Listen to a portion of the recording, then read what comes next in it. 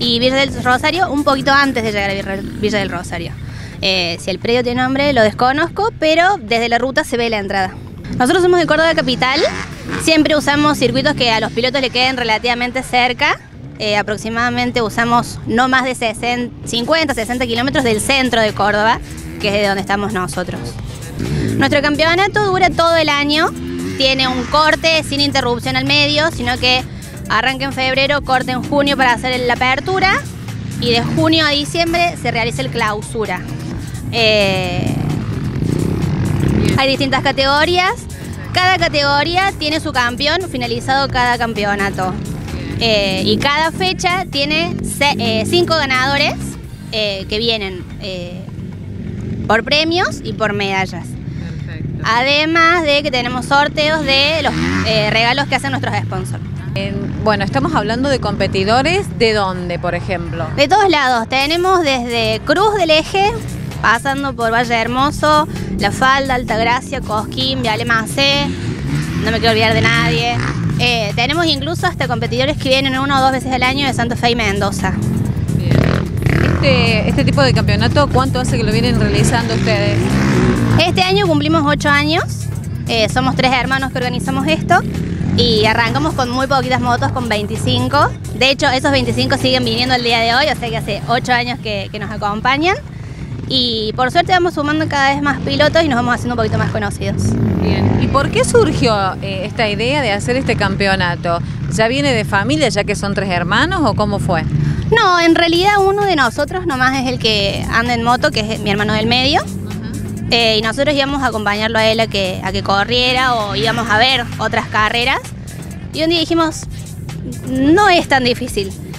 En realidad es muy difícil, pero de afuera se veía súper fácil, entonces dijimos, bueno, lo empezamos. Y lo empezamos nosotros tres con ayuda de, mi cuñada y de mis papás.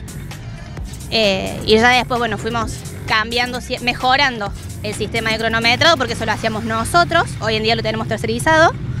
Eh, ofrecemos también el servicio de buffet, que es parte de la organización.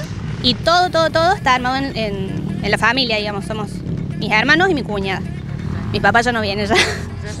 Se desligaron, ya no quiere venir más a pasar ni calor, ni frío, ni nada.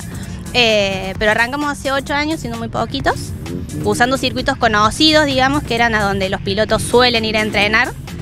Eh, y hoy se cierran una vez al mes para que nosotros hagamos nuestra fecha privada. Eh, y bueno, este año cumplimos ocho años. ¿Cuántos competidores aproximadamente están hoy? Hoy aproximadamente, no, la última vez que pregunté eran casi 60, casi 70. Eh, nos llevó un tiempo organizar esto, el tema es que cada servicio que uno presta tiene un costo. Entonces, nosotros queremos hacer dentro de todo lo posible una inscripción que sea accesible al piloto, que no, que no exceda, digamos, a su bolsillo para que puedan venir a participar y porque incluso nuestra fecha sirve de entrenamiento para carreras más grandes, por ejemplo, el Trasvelas, el Trasmontaña, eh, el Classic Serie.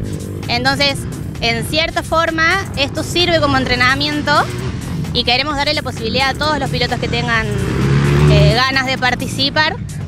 Incluso muchos no se animan a esas carreras grandes y vienen a probar primero con nosotros. Entonces, buscamos la forma de que sea lo más accesible posible, siempre y cuando eh, podamos cubrir, como decís vos, el servicio de, ambulancia porque es algo fundamental la seguridad del piloto porque los accidentes surgen. Eh, desde el más pequeño, como clavarse una espina, hasta nos ha pasado el más grave, una quebradura de, pierna, y no podemos venir desprovistos de, ese apoyo.